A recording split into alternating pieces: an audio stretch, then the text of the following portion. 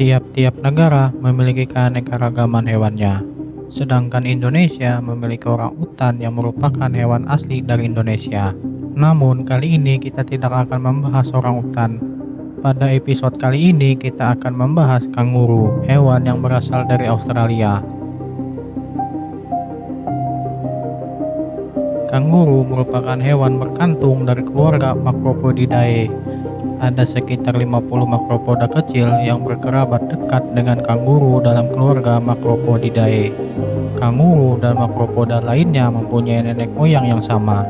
Nenek moyang ini dulunya hidup di pepohonan yang luasnya menutupi sebagian besar Australia pada saat itu. Karena iklim yang telah berubah menjadi kering, kanguru mulai mengalami perubahan fisik yang membesar dan berkembangnya usus depan serta penyesuaian terhadap makanan. Kanguru memiliki dua kaki belakang yang kuat, telapak kakinya yang besar didesain untuk melompat. Kanguru biasanya melompat dengan kecepatan 20 hingga 40 km per jam tapi tidak dipungkiri mereka juga dapat meningkatkan kecepatannya hingga 70 km per jam. Masa hidup hewan satu ini berkisar antara 9 hingga 18 tahun. Namun terkadang ada juga kanguru yang dapat hidup hingga 28 tahun. Bukan hanya kakinya saja yang kuat, namun hewan satu ini memiliki otot pada lengannya. Diketahui otot lengan tersebut selain digunakan untuk berkelahi, juga digunakan untuk memikat calon pasangannya. Bagi masyarakat Australia, kanguru dijadikan simbol negara Australia. Selain itu, gambar kanguru juga terlihat pada koin 1 dolar Australia. Bukan hanya itu saja, kanguru juga dijadikan sebagai maskot untuk tim olahraga Australia.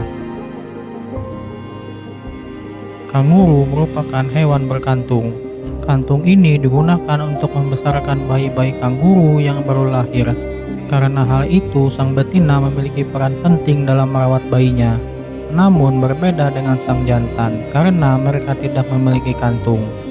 Selama masa perkembangan bayi kanguru, bayi kanguru akan selalu berada dalam kantung, termasuk meminum susu dari induknya. Hal ini karena mereka masih belum dapat berjalan dengan baik. Sang induk akan selalu membersihkan kantong mereka secara teratur agar anaknya dapat tinggal di sana dengan nyaman. Setelah bayi kanguru merasa mampu untuk berjalan sendiri, bayi kanguru akan keluar dari kantung sang induk. Sejak saat itu, bayi kanguru akan menghabiskan banyak waktunya di dunia luar. Kanguru merupakan hewan yang hidup berkelompok. Biasanya dalam satu kelompok beranggotakan 10 kanguru atau lebih. Hidup berkelompok dapat memberikan perlindungan bagi beberapa anggota kelompok yang lebih lemah. Hanya ada sedikit catatan tentang kanguru yang menyerang manusia.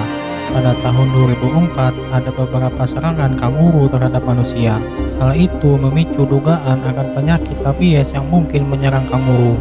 Namun dari semua itu hanya ada dua kasus yang menyebabkan kematian.